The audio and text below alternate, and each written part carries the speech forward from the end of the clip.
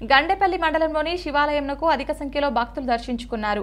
మహాశివరాత్రి పర్వదినాన్ని పురస్కరించుకొని అధిక సంఖ్యలో భక్తులు దర్శించుకోవడంతో శివాలయాలు పోటెత్తాయి. మండల కేంద్రమైన గండేపల్లి శ్రీ ఉమాచంద్రశేఖర స్వామి వారిని అధిక సంఖ్యలో భక్తులు దర్శించుకున్నారు.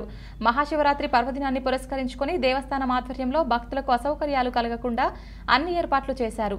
తెల్లవారుజాము నుండి స్వామివారిని అధిక సంఖ్యలో భక్తులు దర్శించుకున్నారు. అలాగే ఇటీవల స్వామివారిని ఆలయానికి వచ్చిన శివపార్వతుల విగ్రహాలను రథంపై గ్రామంలో ఊరేగించారు. మహాశివరాత్రి పర్వదినాన్ని పురస్కరించుకొని స్వామివారి కళ్యాణం జరుగుతుందని ఆలయ దేవస్థానం ఈవో తెలిపారు.